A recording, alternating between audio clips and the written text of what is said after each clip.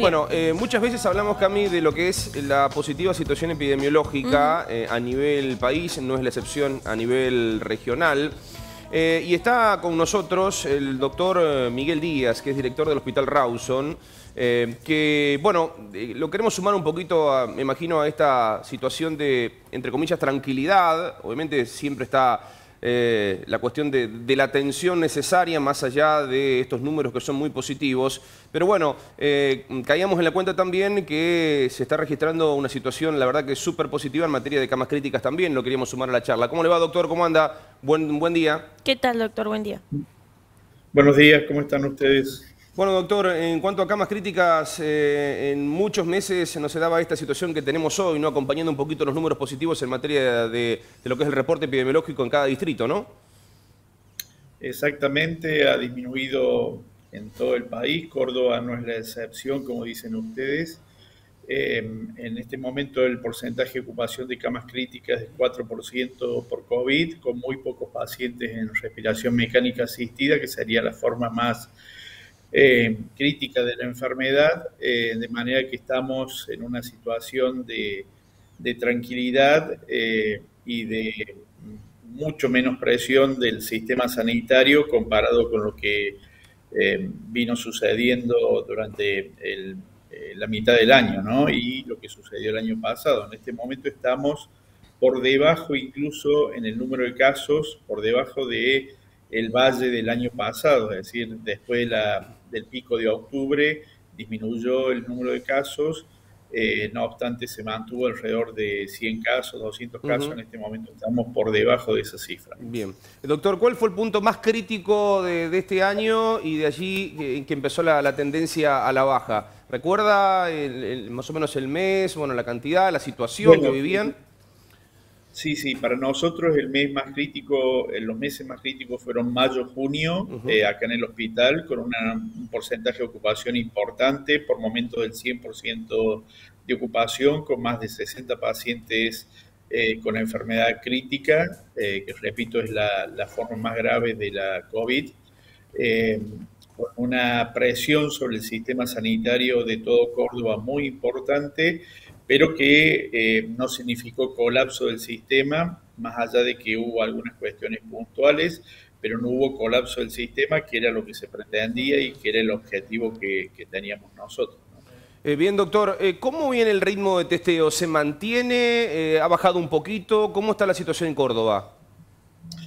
la disminución del número de testeos ha, ha bajado, ha disminuido, porque hay menor demanda, ¿no? Pero la oferta en cuanto a testeo es muy grande.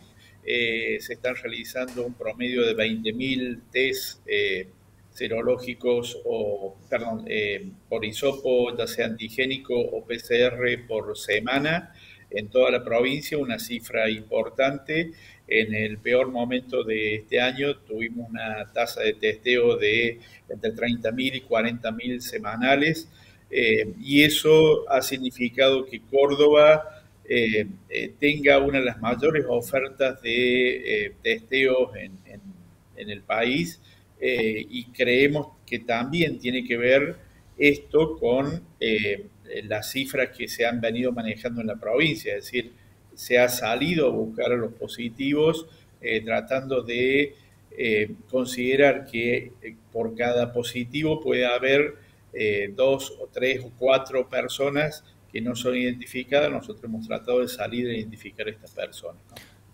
Doctor, ¿cómo le va Camila? Le habla. Quería saber de lo que se está hablando en las últimas horas muchísimo sobre la vacunación de los niños, si tiene alguna idea de cómo está la situación actualmente. Bien, eh, durante el fin de semana, el domingo concretamente, se comenzó la vacunación acá en, en el grupo etario que va de 3 a 11 años. Eh, y a pesar de que era un fin de semana largo, extra largo, con, mucha movilización de gente y seguramente mucha gente eh, de vacaciones, muchas personas de vacaciones, eh, aún así hubo una importante asistencia a los centros de vacunación. hay más de 120 mil inscritos, hubo el fin de semana para, para vacunarse en este grupo etario, de manera que eh, creemos que poco a poco la gente, más allá de las dudas iniciales, se va a ir volcando con sus hijos a la vacunación. ¿no?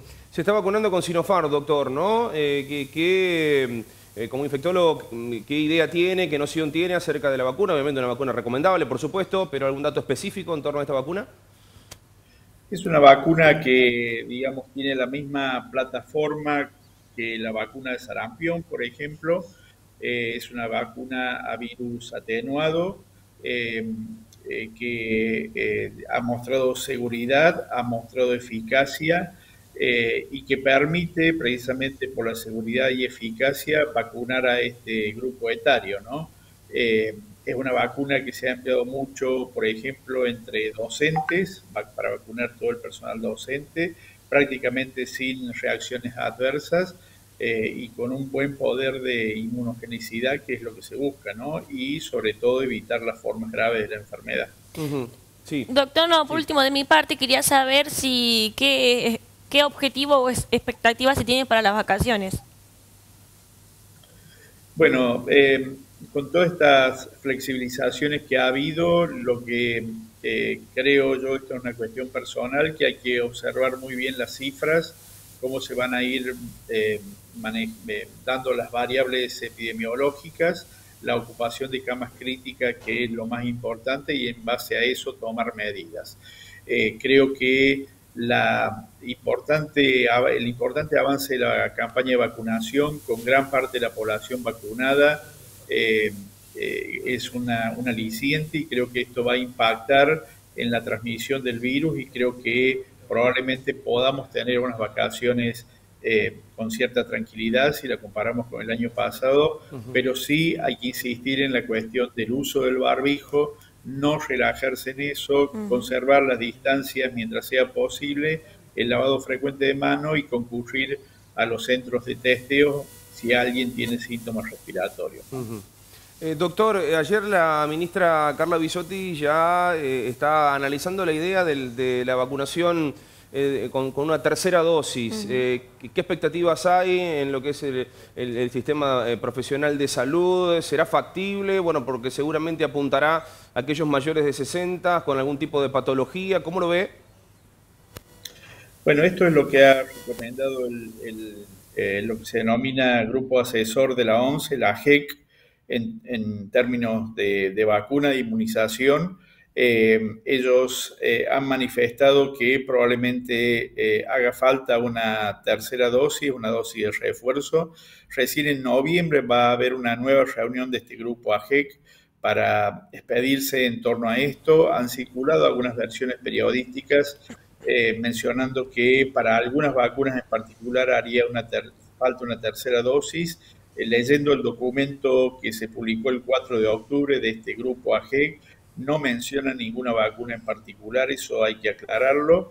Y por otra parte se está realizando en, en todo el mundo, incluso acá en el país, la posibilidad de una tercera dosis. La ministra Bisotti lo que dijo es que probablemente en el 2022 para eh, mayores de 60 años y para eh, eh, grupos esenciales, población esencial, como es el equipo de salud, y que haya transcurrido un año de vacunación, probablemente haya que vacunar con la tercera dosis. Bien, doctor, la última, para no quitarle más tiempo. A ver, eh, la, tan nombrada variante Delta, eh, primero, ¿qué incidencia ha tenido en el país? Por lo que vemos nosotros, que mm, sabemos eh, solo lo que vemos en los medios, ha tenido poca incidencia, ha estado presente, pero digo, esto puede llegar a, ser una complicación en caso de un brote, estamos hablando de algo potencial, ¿no? a ver, bajan las temperaturas para el año próximo, está latente la, la variante, ¿puede llegar a ser algún inconveniente, doctor? ¿Cómo lo analizan ustedes?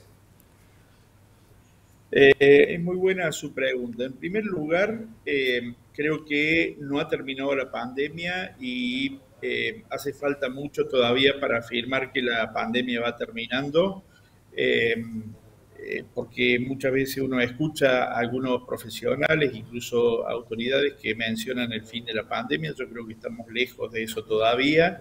la posibilidad de la circulación de nuevas variantes siempre existe sobre todo si hay población en el mundo que no se ha vacunado. Recordemos cómo se originó variante Delta. Variante Delta aparece en la India, un país que tenía muy bajo porcentaje de vacunación en la población, y de ahí se distribuye, se, se eh, producen casos en Reino Unido y de ahí prácticamente a todo el mundo. Entonces, eh, esto es muy importante considerarlo, la pandemia no ha terminado, eh, la emergencia de esta variante en este momento en el país, o en Córdoba, mejor dicho, es de alrededor del 4 o 5%, muy baja. Para que prepondere Delta tiene que desplazar a Manaos y creo que el mayor aliado que tenemos es la vacunación. No obstante, yo insisto con las medidas preventivas, el uso del barbijo, el distanciamiento. Uno ve actividades como por ejemplo en las canchas de fútbol que prácticamente no usan barbijo. Eh, que gritan, que están uno al lado del otro. Bueno, creo que todas estas cosas hay que considerarlas, corregirlas a fin de evitar la circulación de estas variantes. Doctor, muchísimas gracias, gracias por su tiempo, gracias por estos valiosos minutos. Eh, bueno, felicitarlo en nombre suyo, a todo el equipo médico del hospital por lo que han realizado, por lo que siguen realizando. Eh, han sido, la verdad, claves en esto de la lucha en, en el marco de la pandemia. Así que el gran saludo, el gran abrazo, gracias por su tiempo. Gracias, doctor. Gracias a usted, que tenga muy buenos días. Bueno, ya estaba el doctor Miguel Díaz entonces, director del Hospital Rawson, ¿eh? hablando acerca de estas cuestiones que de las cuales hay que seguir, ¿eh? sí, sí. Eh, hay que tener en cuenta, más en el marco de estas flexibilizaciones y lo que decía el doctor, que la pandemia todavía no ha terminado. Acentuando que no ha terminado, usar el barbijo, seguir los protocolos, bueno, tener mucho cuidado todavía con todos, con todos esos cuidados. Totalmente. Bueno,